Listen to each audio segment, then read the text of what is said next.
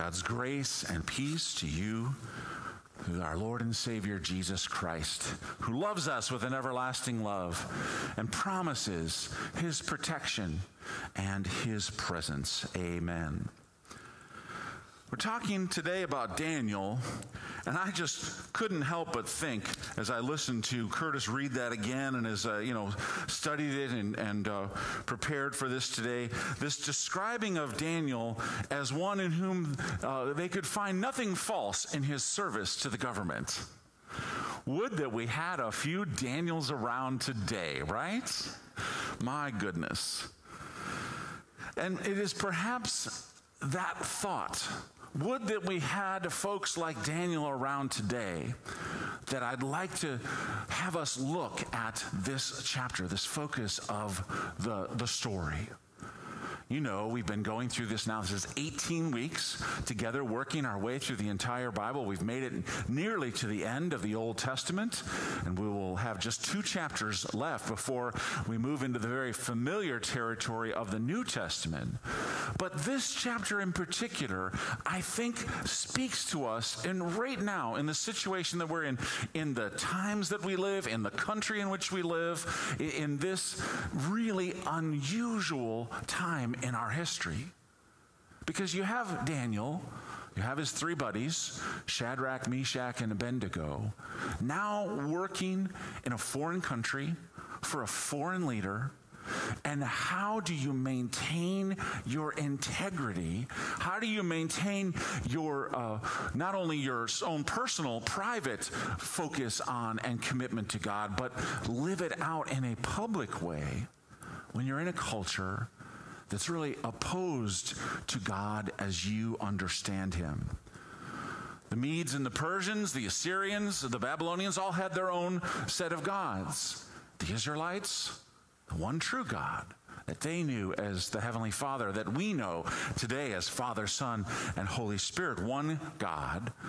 And, and yet here they are trying to live this out, to do so in this way. And Daniel's even been told he can't pray the way that he's expected to pray.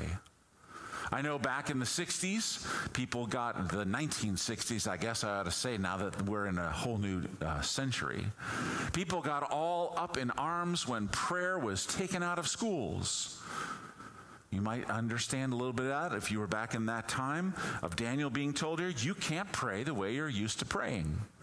I still think the bumper sticker uh, says it very, very well. As long as there are tests, there will still be prayer in school. Dear God, please help me pass, right?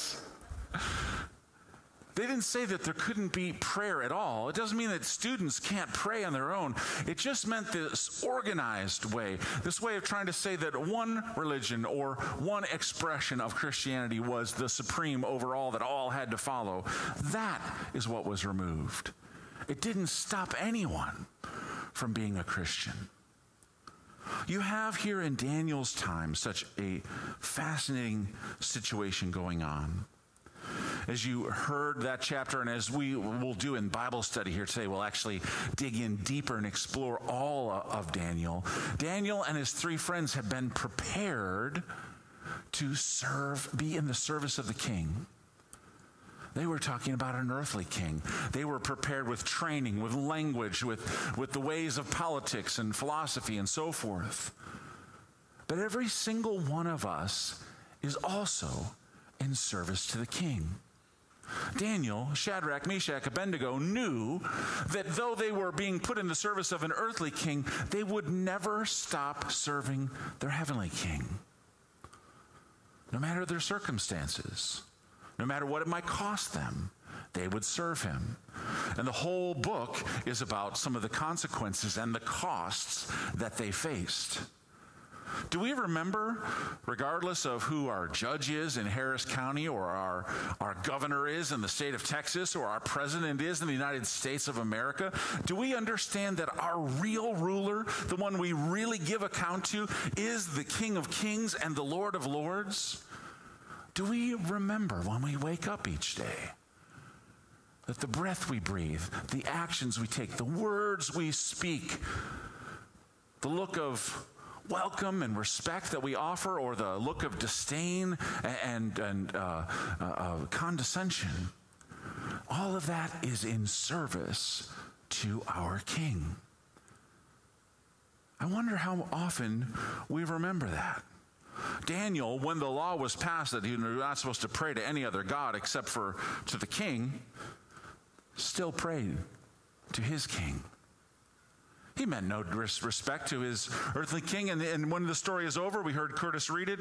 You know, uh, King, I have done you no wrong. I've been innocent before you all of my life and, and everything that I've, I've possibly done. But God sent an angel to rescue me. Jesus sends out his 72 disciples, and, and, and they, uh, you know, even the demons submit to their name, and he promises that no harm will come to them. They've been given authority over snakes and scorpions, and we would presume lions and, and everything else. What a day this was there's a little kids song that I, I learned and I've taught a, a, few people. Maybe this helps it get into our minds and our hearts. It's from the perspective of the lion, if you can believe that. Roar, roar, roar, roar. I'm a big lion and I want to eat some more. Roar, roar, roar, roar. Here comes Daniel and I'll eat him for sure. Let me tell you about Daniel. He was good every way. He trusted in the Lord and prayed three times a day. But this got him into trouble with the king's evil men, for they grabbed him and they threw him in the lion's den. It's a strange thing, isn't it? Doing the right thing, doing the godly thing can get you in trouble. Now, one of the things that I think is so important for us to get, and I promise you I'm going to spend a lot more time going into this in the uh, Bible class. But one of the things that I hope you notice about Daniel, also if you read the whole chapter or read the whole chapter, you saw it in Shadrach, Meshach, and Abednego, there was the utmost respect for all the authorities, for the king, for other rulers and governors. There was respect. There was not complaining. There was not whining. There was not, uh, I'm going to put down my enemies or those who oppose me. There was respect all the way across the board. When Daniel ca- talks to the king, he says, Lord, King, may you live forever. When he talks to his, this king's predecessor, and that king's asking him, Can you tell me what my dream was, and can you interpret my dream for me? Daniel says, Nobody can do that, but there is a God in heaven, O king, and he has shown you, and I will tell you what he's shown you, because he's revealed it to me. That respect, it seems to be largely missing in our public discourse. If you're a Republican, there isn't much respect for the Democrats and for those radical leftists.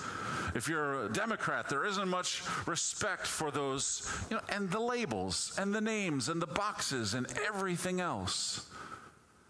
Not a whole lot of respect. Isn't it funny that they have to put the little squares, the little lines on the floor to try to help us remember where six feet is so we can stand apart in a respectful manner until we get past this pandemic. I wish we didn't have to pass rules and, and, and mandates about masks. I wish everyone would realize that if we all wore a mask 95% of the time, if 95% of us wore it 95% of the time, this virus would be dead and gone in six weeks. Do you know that? Six weeks. I wish we didn't have to have those mandates, but I do know this that whatever laws we have, we should follow them with respect.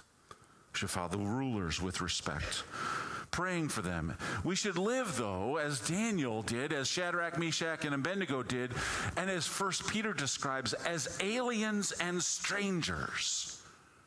This world is not your home. Heaven is our home. Heaven is where our King is. Our citizenship is there. That's where we wait our Savior from, who came to this earth as a baby, who took on our flesh to redeem those of us in the flesh, but who says there's more than flesh. And while we're here, he invites us to remember the greatest thing of all is not how many people we ever preach to, or how many demons ever submit to us in his name, or how many people we can insult in a, a tweet, or whatever it is that we can do. The greatest thing of all is that our names are written in his book of life. And they are written there by the blood of Jesus, the Savior, who would give his life for us. Well, they opened the door and they threw him inside. He could see the lion's teeth and the gleam in his eye. But the angel of the Lord shut the lion's mouth tight. And Daniel praised the Lord and slept through the night. How much more at peace our hearts can be when we are trusting Him not what it says on whatever our preferred news channel is, not what it says in the newspaper or the magazines or Facebook. How much more at peace could we be if we turned it all off and we tuned into Him? It was interesting. Mother Teresa was once interviewed by a reporter for the BBC. And, uh, you know, in his research, he discovered she never read the newspaper, never watched the news, never listened to the radio. She didn't know a thing about quote unquote current events. But when he held a conversation with her for over an hour, it was as if she knew every single thing that really mattered. I wonder if that might be what happens to us. If we turn off the counts and the census and all of it, and we just tuned into Him. You know, that lion could only go, mm, mm, mm, all that a lion could say was, with an angel on the lion's mouth, he just said, But when you and I live those lives, we shine like stars in this dark generation, Philippians 2 tells us, or, or we live such lives among pagans that they see our good deeds and they praise our Father in heaven, or as Daniel did, so clear that the king is so moved by his example of faith that he sends an edict out the whole world, you ought to trust in God the way Daniel trusts in the one true God. When they see how changed the people are around us, bit by bit, perhaps, but in very real ways. When the king found out Daniel was okay, he gave thanks to the Lord on that wonderful day. But the king's evil men shook with fear and with dread, because they were served up for breakfast to the lion instead. God's the one that'll take care of other people's fate. God is the one that will see ultimate justice is done. In the meantime, you and I, with the help of Jesus and the help he gives us in the sacrament this morning, you and I walk with God, represent God, rely on God, and respect others in every degree that we can. May God help us do so to his glory. Amen.